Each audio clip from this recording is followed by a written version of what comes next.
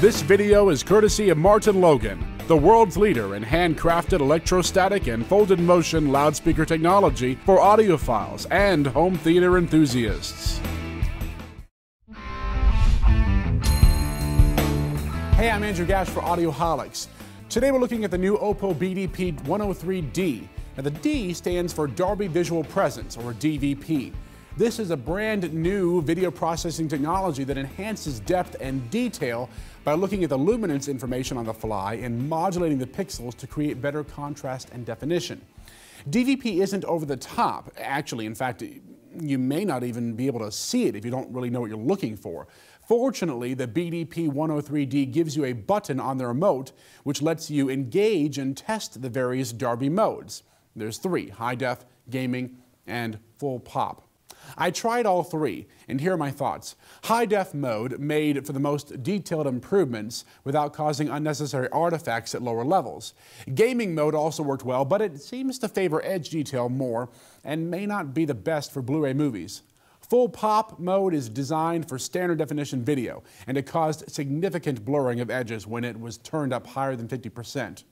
Overall, I have to say that Darbee Visual Presence performed a natural contrast and edge enhancement that goes well beyond the simple pixel-based computations that we've seen with other video processors. I think the maximum you want to set Darbee, at uh, practical use settings at least, is around 50%, though it loses all artifacting completely around 35%. I played a lot of source material on this uh, BDP 103D, including the fifth element in Blu-ray. Engaging and disengaging Darbee Visual Presence let me see how DVP added considerable life to the early pyramid scenes in the movie.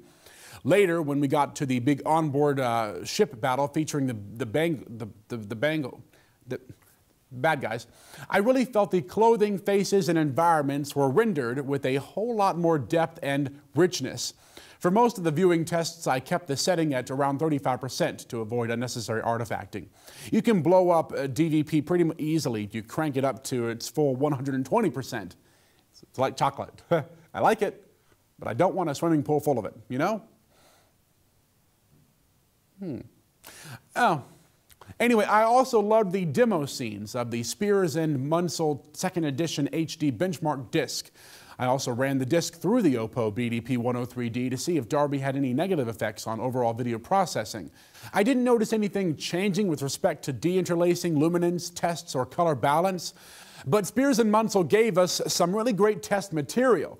The scene in the lighthouse montage where there is a Pebble Beach area was particularly helpful in showing off the ability and enhancement of Darbee visual presence.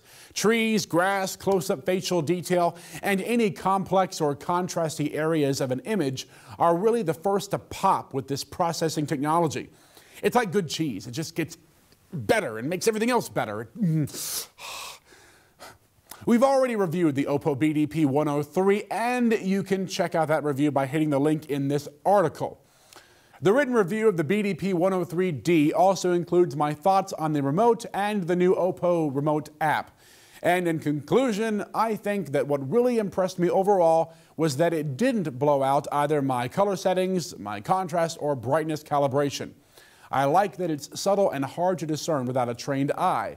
The alternative is the equivalent of 3D movies that constantly poke sticks and swords out at the audience, saying, Look at me, I'm 3D, isn't this cool? Woohoo! Darbee Visual Presence is a more humble technology. And that's why it's probably going to take off and have staying power. At least I sure hope so. If you are already committed to having the best possible video in your home theater, the Oppo BDP 103D is going to get you there. This player costs $100 more than the standard BDP 103, but if you want the best, you probably should stop watching this video and go order it. I don't think you're gonna get a better picture, and $599 may seem like a lot, but with 4K nowhere near production, this may be the last player you need to buy for a good long time. So what Blu-ray player do you use? That's our question for this video. It's simple, but hey, we gotta know. So leave us a comment on our YouTube video and also, of course, be sure to visit us and like us on Facebook for the latest home theater reviews and product info.